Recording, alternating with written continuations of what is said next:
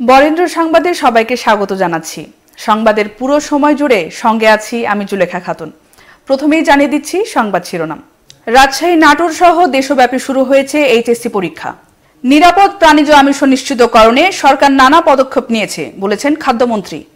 গাইবান্ধার গোবিন্দগঞ্জে তিন সাঁওতাল হত্যার বিচারের দাবিতে মানববন্ধন। নাটোরে অভিযান চালিয়ে বিপুল পরিমাণ মাদক সহ তিনজনকে গ্রেপ্তার করেছে র্যাব পাঁচ। এতক্ষণ শুনছিলেন সংবাদ শিরোনাম, এবারে বিস্তারিত। রাজশাহী নাটোর সহ দেশব্যাপী শুরু হয়েছে এইচএসসি পরীক্ষা। এবছর রাজশাহী শিক্ষা বোর্ডের অধীনে দুশো এক কেন্দ্রে সাতশো বাউন্নটি শিক্ষা প্রতিষ্ঠানের মোট এক লাখ উনত্রিশ হাজার পঁচিশ জন শিক্ষার্থী অংশ নিচ্ছে। সকাল এগারোটা থেকে সুষ্ঠু ও সুশৃঙ্খল পরিবেশে প্রতিটা কেন্দ্রে পরীক্ষা শুরু হয়ে চলে দুপুর একটা পর্যন্ত। পরীক্ষার ত্রিশ মিনিট আগে প্রতিটি পরীক্ষার্থীকে যাচাই করে পরীক্ষা কেন্দ্রে প্রবেশ করানো হয়। রাজশাহী শিক্ষা বোর্ডের মোট পরীক্ষার্থীদের মধ্যে ছাত্রী ষাট হাজার নয়শো উননব্বই জন এবং ছাত্র ষাট হাজার ছত্রিশ জন। এর মধ্যে বিজ্ঞান বিভাগের চৌত্রিশ হাজার ছয়শো এগারো জন, মানবিক বিভাগে আশি হাজার নয়শো চৌষট্টি জন এবং বাণিজ্যিক শাখায় অংশ নিচ্ছেন তেরো হাজার তিনশো সাতাশি জন।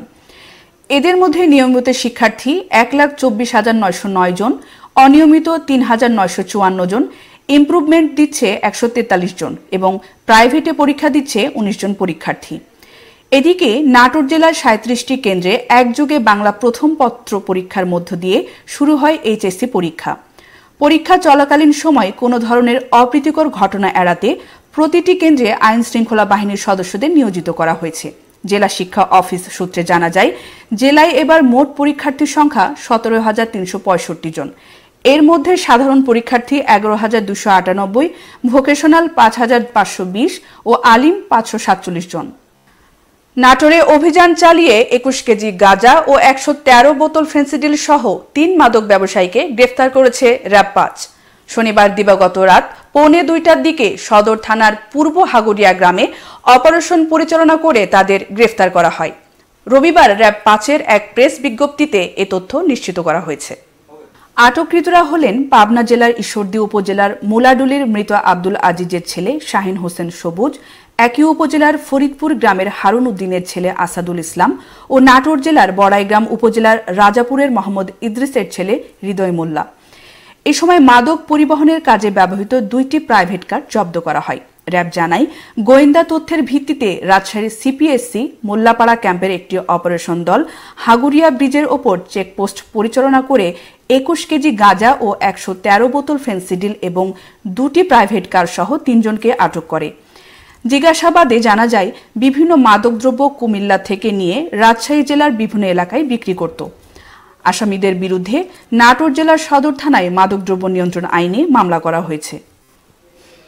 গাইবান্ধার গোবিন্দগঞ্জের সাহেবগঞ্জ বাগদা ফার্মের তিন সাঁওতাল হত্যাকাণ্ডের বিচার সাঁওতাল পল্লীতে হামলা, অগ্নিসংযোগ, লুটপাটে জড়িতদের বিচারের দাবিতে কেন্দ্রীয় কর্মসূচির অংশ হিসেবে রাজশাহী ও নাটোরে মানববন্ধন অনুষ্ঠিত হয়েছে। দুই হাজার ষোলো সালের ছয় নভেম্বর পুলিশের গুলিতে তিন সাঁওতাল, শ্যামল হেমব্রম, রমেশ টুডু, মঙ্গল মার্ডি নিহত হয়। দিবসটি উপলক্ষে রাজশাহী নগরীর সাহেববাজার জিরো পয়েন্টে মানববন্ধনের আয়োজন করে জাতীয় আদিবাসী পরিষদ রাজশাহী জেলা কমিটি। এ সময় বক্তব্য রাখেন সভাপতি বিমল চন্দ্র রাজওয়ার জাতীয় আদিবাসী ছাত্র পরিষদ কেন্দ্রীয় কমিটির সভাপতি মতরুণ মন্ডা দপ্তর সম্পাদক সুভাষ চন্দ্র হেমব্রম, কল্পনা রায় সহ অন্যরা। এদিকে রবিবার দুপুরে জাতীয় আদিবাসী পরিষদ নাটোর জেলা শাখার আয়োজনে নাটোর প্রেস ক্লাব এলাকায় এই মানববন্ধন কর্মসূচি পালন করা হয়। এদিকে রবিবার দুপুরে জাতীয় আদিবাসী পরিষদ নাটোর জেলা শাখার আয়োজনে নাটোর প্রেস ক্লাব এলাকায় মানববন্ধন কর্মসূচি পালন করা হয়। মানববন্ধনে বক্তব্য রাখেন সংগঠনটির জেলা শাখার সাধারণ সম্পাদক কালিদাস রায়, যুগ্ম সাধারণ সম্পাদক যাদুকুমার দাস, সদর উপজেলা কমিটির সভাপতি বাবুল পাহান, সাধারণ সম্পাদক শ্যামলাল তেলি। মানববন্ধনে অতি দ্রুত আদিবাসীদের বাপদাদার জমি ফিরিয়ে দেওয়া সহ তিন সাঁওতাল হত্যাকাণ্ডের বিচার নিশ্চিতের দাবি করেন বক্তারা। খাদ্যমন্ত্রী সাধন চন্দ্র মজুমদার বলেছেন, সকলের জন্য পর্যাপ্ত নিরাপদ প্রাণীজ আমিষ নিশ্চিতকরণে সরকার নানা পদক্ষেপ নিয়েছে। এতে মানুষের জীবনযাত্রার মান উন্নয়ন হয়েছে। রোববার দুপুরে নওগাঁর নিয়ামতপুর উচ্চ বিদ্যালয় মাঠে ক্ষুদ্র নৃগোষ্ঠীর প্রাণী সম্পদ উন্নয়ন প্রকল্প এর আওতায় ভেড়া ও ভেড়ার গৃহ উপকরণ বিতরণ অনুষ্ঠানে প্রধান অতিথির বক্তব্যে এসব কথা বলেন তিনি। এ সময় খাদ্যমন্ত্রী বলেন ভেড়া পালন ক্ষুদ্র নৃগোষ্ঠীর সদস্যদের স্বাবলম্বী হতে এবং দেশের প্রাণীজ আমিষের চাহিদা পূরণে ভূমিকা রাখবে। শুধু ক্ষুদ্র নৃগোষ্ঠীর জন্য নয়, পিছিয়ে পড়া সকল জনগোষ্ঠীর জন্য সামাজিক সুরক্ষা বলয়ের আওতায় নানা রকম ভাতা দিয়ে যাচ্ছেন বর্তমান সরকার। নিয়ামতপুর উপজেলা নির্বাহী অফিসার ফারুক সুফিয়ানের সভাপতিত্বে আয়োজিত অনুষ্ঠানে উপজেলা চেয়ারম্যান ফরিদ আহমেদ, নওগাঁ জেলা প্রাণী সম্পদ অফিসার মহির উদ্দিন সহ অন্যরা এ সময় উপস্থিত ছিলেন। পরে মন্ত্রী ক্ষুদ্র নৃগোষ্ঠীর চারশো পরিবারের মাঝে ভেড়া ও ভেড়ার গৃহ নির্মাণ উপকরণ বিতরণ করেন। দেশের অন্যান্য আইটি প্রতিষ্ঠানের পাশাপাশি রাজশাহীতেও চালু হয়েছে ইনফরমেশন টেকনোলজি বিষয়ক শিক্ষা প্রতিষ্ঠান বরেন্দ্র আইটি। এ নিয়ে আলোচনা সভা সহ বিভিন্ন বিষয় নিয়ে দিনভর নানা অনুষ্ঠানের আয়োজন করে প্রতিষ্ঠানটি। গত শুক্রবার রাজশাহী নগরীর একটি চাইনিজ রেস্টুরেন্টে এর আয়োজন করা হয়। অনুষ্ঠানে প্রায় এক হাজার শিক্ষার্থী অংশগ্রহণ করে। এ সময় অটোকার্ড টুডে এবং three graphics design, web design, প্রযুক্তিমূলক বাজারজাত সেবা সহ বিভিন্ন বিষয় নিয়ে আলোচনা করা হয়। আলোচনা শেষে বিভিন্ন বিষয়ে কোর্স সম্পন্ন করা শিক্ষার্থীদের মাঝে সনদ বিতরণ করা হয়। এ সময় উপস্থিত ছিলেন বরেন্দ্র আইটির স্বত্বাধিকারী সারোয়ার মিম সহ অন্যরা। এবং আমরা গত পাঁচ বছর থেকে কন্টিনিউয়াসলি স্কিল ডেভেলপের উপর কাজ করছি। তো এই স্কিলের ওপরে যখন আমরা স্কিল নিয়ে কাজ করছিলাম, তখন খেয়াল করলাম যে আমাদের এই স্টুডেন্টগুলা কেরিয়ারটাতে ভালো করতে পারছে না।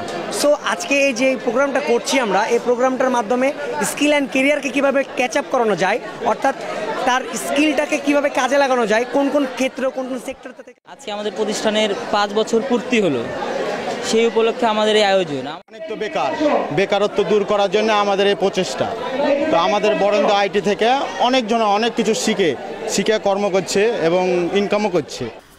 বর্ণাঢ্য আয়োজনের মধ্য দিয়ে নোয়াখালীতে পুবালী ব্যাংক লিমিটেডের একশো তেরোতম উপশাখার উদ্বোধন করা হয়েছে। রবিবার সকালে বেগমগঞ্জের একলাসপুর বাজারে এর উদ্বোধন করেন এফবিসিসিআই এর পরিচালক ও এম জামাল অ্যান্ড কোম্পানি লিমিটেডের ব্যবস্থাপনা পরিচালক আলহাজ মোহাম্মদ জামাল উদ্দিন। অনুষ্ঠানে প্রধান অতিথির বক্তব্য রাখেন পুবালী ব্যাংক নোয়াখালী আঞ্চলিক কার্যালয়ের উপমহাব্যবস্থাপক মোহাম্মদ মাইনুল ইসলাম। চৌমোহনী শাখার ব্যবস্থাপক গিয়াস উদ্দিনের সভাপতিত্বে ও কর্মকর্তা আলমগীর হোসেনের পরিচালনায় স্বাগত বক্তব্য রাখেন উপসচিব অবসরপ্রাপ্ত কামরুজ্জামান চৌধুরী, একলাসপুর বাজার উপশাখার ব্যবস্থাপক মোহাম্মদ হামিম শরীফ, একলাসপুর ইউনিয়ন আওয়ামী লীগের সভাপতি কামাল উদ্দিন, সাধারণ সম্পাদক মোশারফ হোসেন মানুসহ অনেকেই। এই ছিল আজকের বরেন্দ্র সংবাদ। এতক্ষণ সঙ্গে থাকার জন্য ধন্যবাদ। আর অবশ্যই গুরুত্বপূর্ণ সংবাদ পেতে বরেন্দ্র টিভির সঙ্গে থাকুন।